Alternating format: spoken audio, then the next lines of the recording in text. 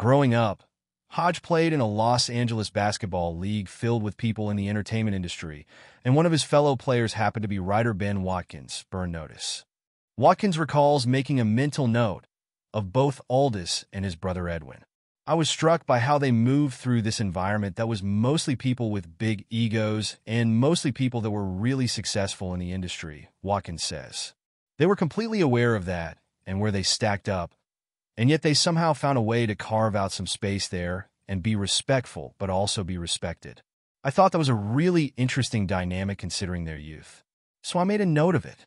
Over the years, Watkins would hear from friends who'd worked with Hodge on different projects. People like Octavia Spencer, who worked with him on 2016 Hidden Figures. I just kept getting these glimpses of him, Watkins says.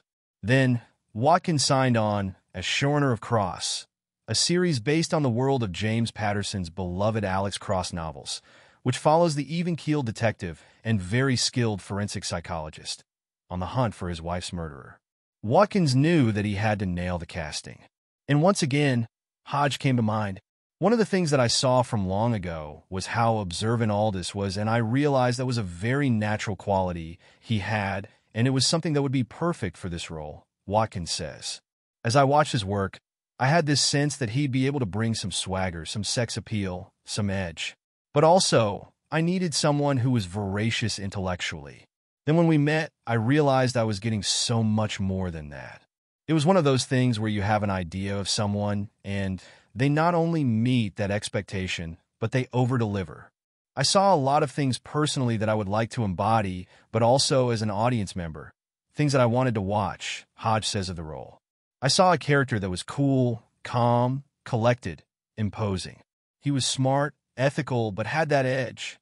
But playing Alex Cross isn't your typical role. The whip-smart detective has appeared in 32 James Patterson novels, spanning more than 30 years and selling more than 100 million copies. Not to mention that the character has been played on the big screen by both Morgan Freeman and Tyler Perry. It's a role and a project that comes with a built-in fan base. And because of that, it also comes loaded with a lot of expectations. When I started down the rabbit hole of reading the books and I rewatched the films, I was making a list of the things that I felt like the films hadn't done justice to, Watkins says. That list then evolved into the series staples that Watkins wanted to make sure were a part of the show. Washington, D.C. as the backdrop, Alex grappling with the murder of his wife, cutting to the villain's POV, and of course, Alex's lifelong best friend John Sampson supporting him and calling him Sugar.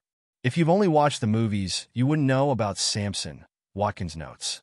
Then you get into the books and you're like, this relationship is so layered and so rewarding and so nuanced and comforting. They're inseparable, and you know you can count on that. I knew that that was one of the things we were going to have to channel for the show. When it came to selecting the perfect partner, the cross showrunner let Hodge play a major role in identifying his ideal wingman. In the end, the role went to Isaiah Mustafa. He's my dude, Hodge says of his co-star. That relationship explains so much about the why and who of Alex Cross. It's imperative. If you know Cross, you gotta know Sampson. Sampson is the guy Alex goes to for advice. And sometimes, he's the guy giving the advice even when Alex doesn't want to hear it. That's how you know they're real friends. I always understood that John Sampson was this partner, this brother, someone to lean on, Mustafa says. They do have a brotherhood that is unparalleled to anything you've ever seen on television between two African American characters. So we wanted to really dig into that and make sure that that brotherhood is what fans recognize and what they pull from the show. But outside of those Alex Cross hallmarks, the Prime Video series hopes to capture the feeling of the novels more than the story of them. In other words, Cross is not a direct adaptation of any of Patterson's novels. This story is a new one, complete with a cast that includes Juanita Jennings, Alona Tal, Samantha Walkes, Caleb Elijah, Melody Hurd, Jennifer Wigmore, Eloise Mumford, and Ryan Eggold. I said I was not going to do any of the seasons based on the books, Watkins says.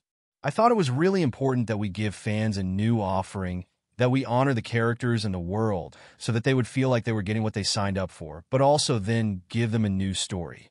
They'll get what those books feel like. For Patterson, it was an exciting development. It's something I say when anybody is developing one of my books or characters. I much prefer the story be brand new, Patterson says. I was hoping the show would be a breakthrough and not dependent on the book, and it's happened. As for Hodge, Patterson adds, he's great at portraying the issues of trying to be a detective and raising a family in this country right now. And he's got some of that charisma stuff going on too. What do the kids call it? Riz? But speaking to being a detective in this country in 2024, and furthermore, a black detective, Alex often finds himself in a difficult position, right in the middle of the tension between the police and the black community, a topic that comes up as early as the series' first episode. He understands what's getting done well, what's not getting done well. The thing that defines him is his moral fiber, Hodge says of Cross. He sits between a rock and a hard place sometimes. His life is not easy because he has to enforce policy, but he also has to do so with respect to his community because he understands, without that badge, he may be sitting on the wrong end of said policy. We refuse to gloss over it, Watkins adds. The sensitivity around the issue fluctuates in our society, unfortunately, but when I got approached in 2021, this was really a hot topic. The conventional wisdom in Hollywood was basically, stay away from cop shows for right now. But Watkins remembered some advice he'd received from a friend. There was another controversy going on, and I asked them if they would stay away from that issue. And they said, Well, I consider myself an artist, and because of that, if there is a hot topic issue, I lean into it, I don't avoid it. That's sort of how I proceeded ever since, he says. I thought it was really important that we shouldn't shy away from it. We're not here to preach. We're here to tell the truth from both sides. One of the rules of the writer's room was that both sides should make a winning argument. When you get a chance to see all of season one, you'll see just how committed we were to honoring the truths of the complicated relationship that exists between law enforcement and the black community. Watkins continues. We do have a hero who is a detective, and that is the show. So if we're going to have that conversation, let's make sure that it's a well-rounded one. And that conversation could just be getting started. Before Cross has even premiered on Prime Video, it's been renewed for a season two. Remember that huge fandom we mentioned?